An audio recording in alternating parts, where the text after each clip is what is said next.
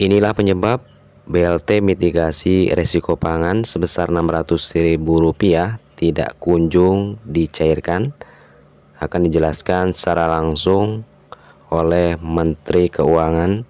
Silahkan disimak videonya sampai selesai.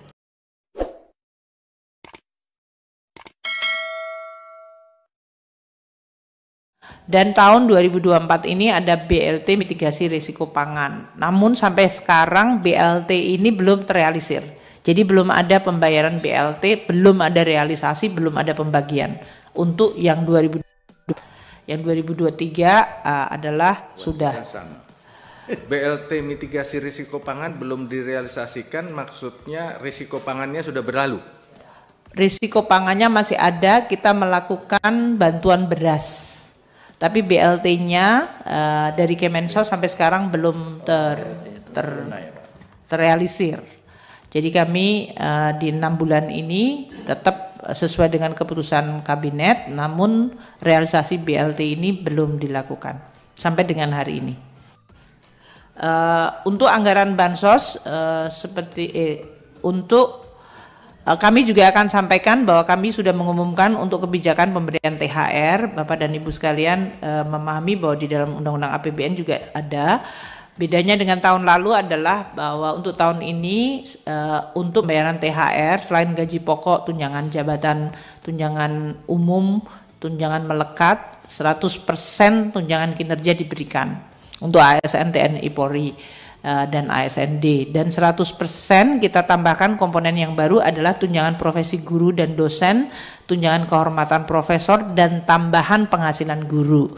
Ini yang ada di dalam uh, THR 2024 yang berbeda dengan tahun sebelumnya. Uh, sedangkan untuk pensiun dan pensiunan penerima pensiun itu uh, THR-nya adalah pensiun pokok, tunjangan keluarga, tunjangan pangan dan tambahan penghasilan. Untuk pensiun ini 11,7 triliun anggaran dari APBN, untuk yang ASN TNI Polri pejabat itu 18 triliun ya dalam hal ini dan untuk APBD yang berasal dari APBD untuk ASN daerah 19 triliun. Untuk ASN daerah dan TPG maupun tamsil guru ASN daerah. Kami uh, sudah mengumumkan dan terus memonitor kesiapan dari Satker nanti permintaan pencairan uh, sehingga pencairan anggaran bisa dilakukan 10 hari sebelum hari raya sesuai dengan PP 14 2024. Transfer ke daerah, kami tadi sampaikan ada kenaikan yang sangat tajam. DAU kita naik 8 19,3 persen dari 82,8 Sedangkan untuk DAK non fisik juga naik 21,4 dari 12,5 ke 28,6 triliun rupiah. Sedangkan dana otsus belum ada realisasi sampai sekarang. DBH mengalami kenaik, eh, penurunan dalam hal ini 11,3 persen. Kok nggak ada naik? Persen, persen Oh maaf, itu bukan maaf. Ini DBH-nya naik bu? Enggak, enggak, enggak. Ya, tadi yang persen itu adalah terhadap alokasi. Jadi eh, teman-teman ah, keuangan memang menguji ketelitian saya. Kadang-kadang persennya itu gross, kadang-kadang target. Dan mereka kayak bajai, Mbak, belok kiri ke kanan nggak ngasih tahu.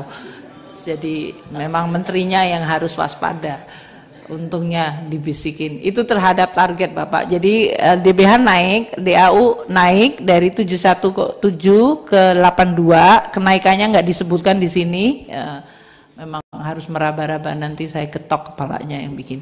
Kenaikannya nggak ditulis tapi target terhadap target ditulis. Itulah tadi yang seperti bajai, Pak.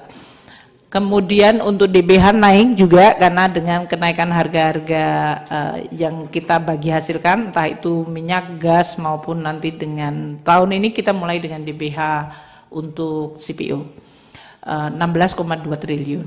Naik dari 14,8 triliun. Itu dari sisi persentase juga naik. Dana desa 7,4 triliun juga naik uh, dari 6,2 Uh, untuk DAK fisik belum ada realisasi, otsus belum ada realisasi, dana uh, untuk insentif uh, juga belum, eh sudah uh, sangat kecil. Mungkin kita akan memulai sesuai dengan insentif. Biasanya ada evaluasi dulu. Hibah belum terrealisir. Dana istimewa juga belum ada yang terrealisir. Untuk pembiayaan anggaran yang seperti kami sampaikan 184,3 triliun atau 35,3 persen. Ini kita lihat dari sisi pembiayaan SBN ya neto sampai dengan 29 Februari 178 triliun uh, kenaikan 26,7 persen dari tahun sebelumnya.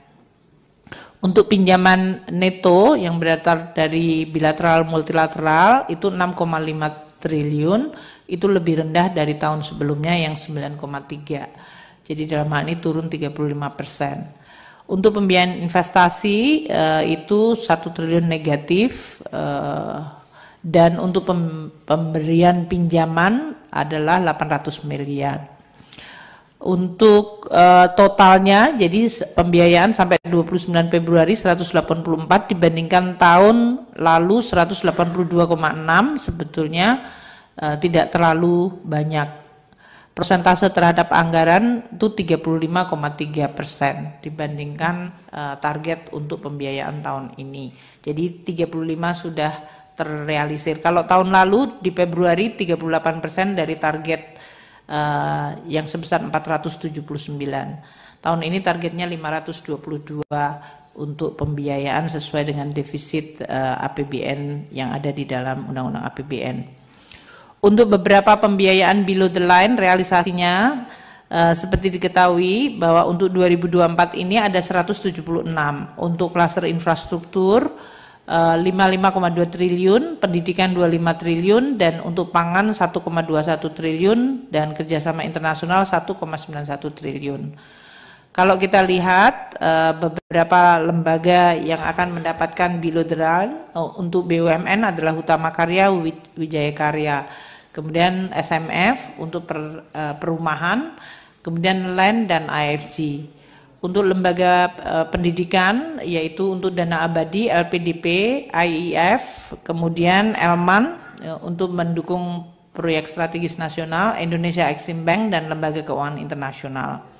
Sampai dengan uh, akhir Februari uh, baru direalisir 1,73 triliun dari 176 triliun. Jadi ini terutama untuk kerjasama internasional. Uh, pada bulan Maret ini kami perkirakan akan ada 49,2 triliun realisasi untuk FLPP, LPDP, dan PMN untuk AFG, PUI dalam hal ini. Kemudian 6 triliun untuk Wijaya Karya, 18,6 triliun Utama Karya, dan 0,1 triliun untuk lembaga kerjasama internasional.